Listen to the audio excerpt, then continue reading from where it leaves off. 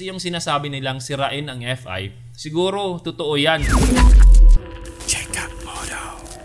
What's up mga kaibigan? Jerry of JK Moto right here. Kumusta kayong lahat dyan? May 15 ngayong araw, kapistahan ng San Isidro Labrador, kapistahan ng Inupakan maybe, kapistahan din sa lugar nyo. But as instructed by our government, hindi tayo pwedeng mag-celebrate ng kapistahan uh, just to practice social distancing, di ba? Anyway, sa labas sana ako magbablog ngayong araw pero medyo maraming dumadaan ngayon, uh, maingay sa microphone natin, saka nakaka-distract kasi hindi natin mai mailabas ang gusto nating ilabas, sabi ni Kim Chu. Anyway, Uh, baka may magalit mga fans din ni Kim Chu. Back to basic tayo. Nandito tayo sa loob ng kwarto. Kung nakita nyo siguro yung video ni Sir Sak of uh, Makina a couple of days ago. So, na-mention ni Sir Sak yung magiging papel ng mga motor at saka ng bike sa upcoming new normal.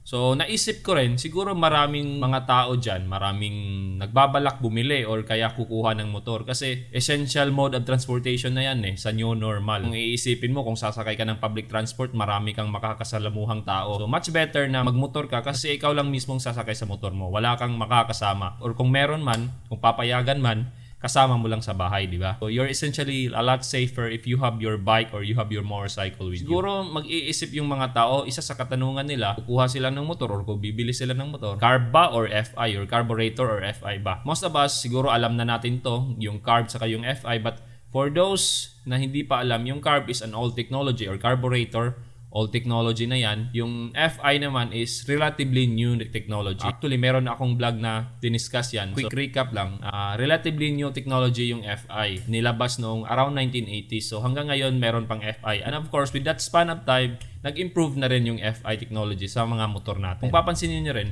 karamihan ng nilalabas ng mga bagong motor ngayon, FI na. Bihira ka na lang makakakita ng mga bagong labas na motor na carb or carburetor. Although meron pa namang naka-display mga carbs na motor, but kadalasan yung nire-release talagang mga bagong motor is FI na. Siguro in the near future, mawawala na yung carb at siguro papalitan na yan ng electric motorcycle.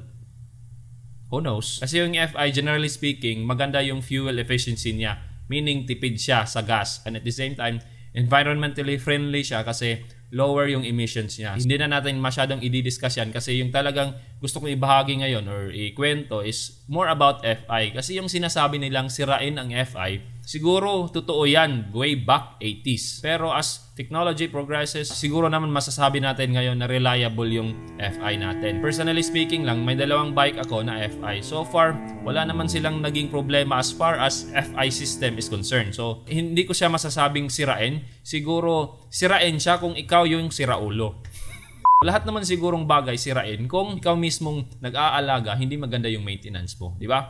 So, nasa nag-aalaga yan, nasa gumagamit yan. So, pag sinabi mong sirain yung FI, I personally would like to disagree. Pangalawang naririnig ko rin ng mga kwento-kwento dyan about FI cleaning. So medyo controversial din yan kasi may mga taong nagsasabing every 12,000 kilometers magpa-FI cleaning ka. Meron din namang wag kang mag-FI cleaning unless na lang siguro kung merong problemang nararamdaman yung motor mo. So earlier this year or maybe way back last year pa, mayroon ako nakitang nag-upload ng video. Nasabi niya na may mga taong nagpapa-FI cleaning tapos nagre-reklamo kasi after ng FI cleaning, nagkakaproblema yung mga motor nila. May mga pumupunta rito na may mga problema ang motor.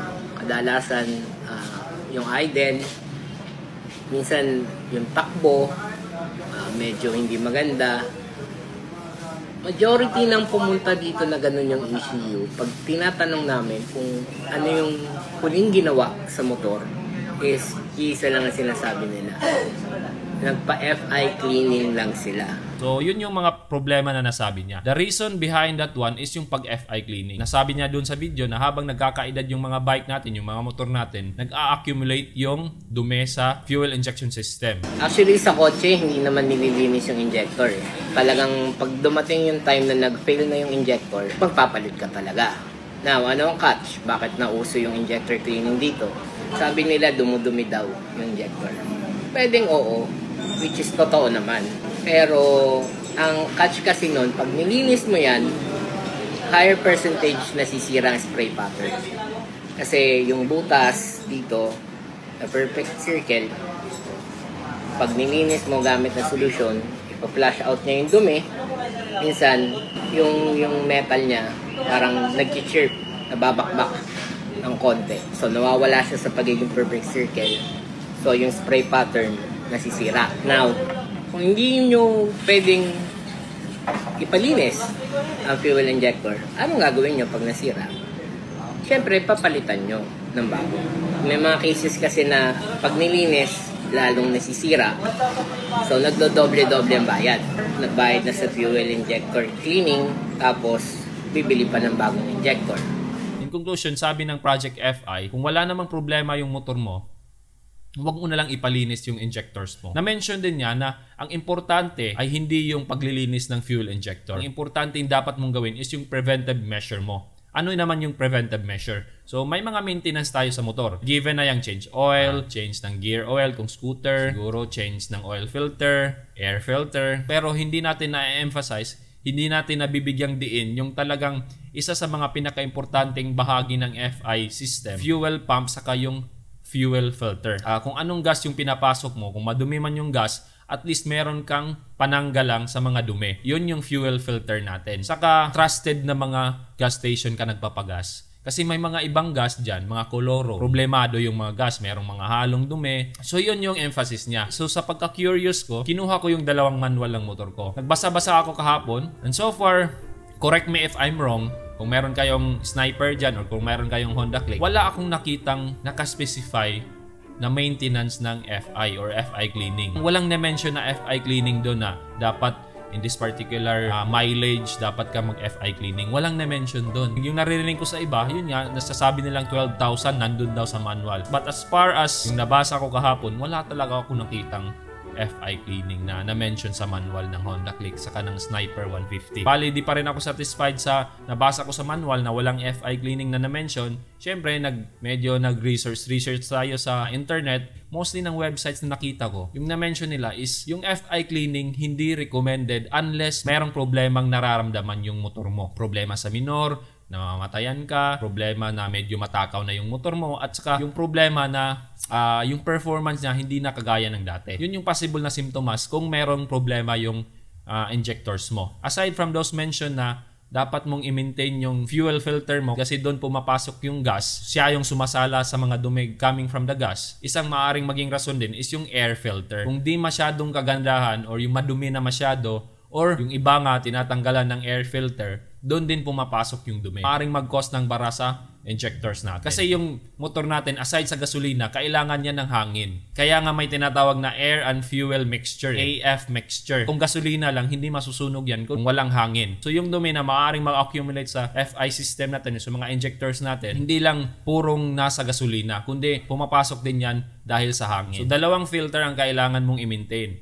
Air filter saka yung fuel filter. So kung may-ari ka ng isang FI na motor, kailangan mo talagang i-maintain yung dalawang yan para hindi magka-problema, para ma-prevent mo yung problema sa FI mo. Personally speaking, to be honest lang ha, yung dalawang FI na motor ko, hindi ko pa pina-FI cleaning. So H motorcycle meron ng around 50,000 na mileage. Yung scooter ko nasa 57,000 yata. Saka yung sniper ko around 50,000 din. So medyo mahaba na yung mga biyahe ng dalawang motor na yan. Pero wala pa akong pina-FI cleaning dyan. So based on what I've researched, what I've read, kung wala namang nararamdaman yung motor mo, hindi naman necessary na magpa-FI cleaning. Unless na lang siguro kung merong problema yung motor mo and yung mga symptoms nagmamatch sa problema sa FI. So yun yung take ko as far as FI cleaning is concerned. So uh, hindi ko sinasabing sundin nyo yung sinasabi ko, hindi ko sinasabing sundin nyo yung sinasabi ng Project FI, hindi ko sinasabing every 12K, but basically ang emphasis ko lang dito is wag mong tipirin yung air filter mo saka yung fuel filter mo. Kasi preventive measure yan. So, depende na sa inyo kung magpapalinis kayo ng FI every 12,000 or hayaan nyo nang uh, may maramdaman yung motor mo bago ka magpa-FI cleaning. Gaya ng nasabi ni Aklas. Bahala kayo kung ano papaniwalaan nyo. So, yun nga, uh, based on personal experience naman, wala naman akong naging problema sa motor ko so far. Around 50,000 each na yung tinakbo. Wala namang naging problema. So, personally speaking, I will stick on my belief na hanggang walang nararamdaman yung motor ko, hindi ako magpapa-FI cleaning. Ang i-maintain ko lang is yung air filter ko at yung fuel filter ko. So yun lang siguro yung masasabi ko about FI cleaning. Kung meron man kayong katanungan, comment nyo lang below. Hanggat kaya kong sagutin, sasagutin ko yan. Now hopefully meron kayong natutunan ngayong araw and siguro i-share nyo na rin yung video na to sa mga nagbabalak bumili ng FI na motor or merong uh, ah, FI na motor ngayon. Hopefully nasa mabuti kayong kalagayan dyan. Merong mga bayang apektado ng bagyo. Hopefully, ah, walang masyadong malaking pinsala sa mga lugar nyo. Stay safe, ride safe. Again, this is your boy Jeriel. This is my channel, JCat Motto. Seeing you. Bye-bye. Woohoo!